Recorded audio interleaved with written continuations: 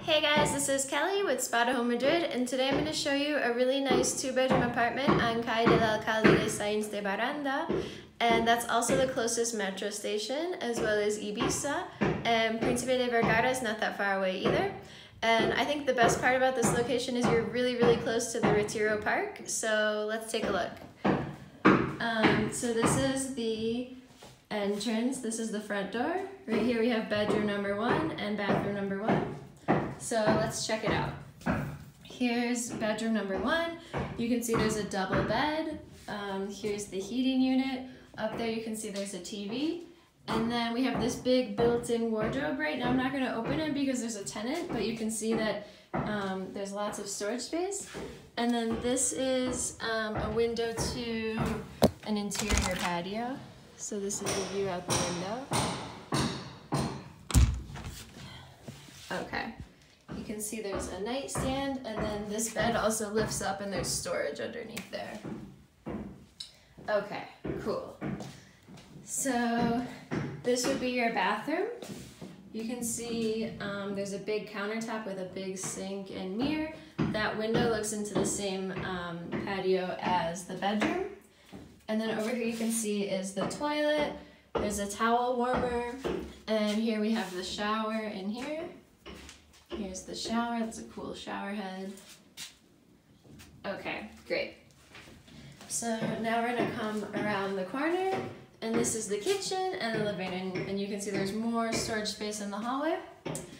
And the kitchen right now, the light bulb is burnt out, but don't worry, it would be replaced before you moved in. So we had to put this lamp in here. But um, here's the dishwasher. There's also a sink right here. This is a washing machine and dryer, which is really a nice thing to have. Um, you can see here's the stove. There's three burners. Um, this is the oven and the microwave. And here is the fridge and freezer. The only thing that wouldn't be here is the Thermomix. That wouldn't be here, but everything else should be. Okay, so now we're gonna look into the living room. So we have this really big living room and dining room area. Can see right here there's a big couch, L-shaped couch. We have a chair. There's some shelves. Here's a nice table with chairs, like a formal dining area. Um, these windows are interior windows as well. And then over here we've got a big TV a nice comfy couch, an armchair, and then this window is there we go. So here's the here's the view. And so literally right there those trees at the end that's the park. Okay now we're gonna go check out bedroom number two, which is right here. So bedroom number two has its own ensuite bathroom. This is bedroom number two. Um, it also has a big double bed, which this lifts up. Yeah, this lifts up as well. There's more storage under there. Here's a nightstand. The heater is behind that um, white decorative thing. oh, excuse me. Um, here's the TV. There's a ceiling fan. And then this window looks out onto that same view as the living room.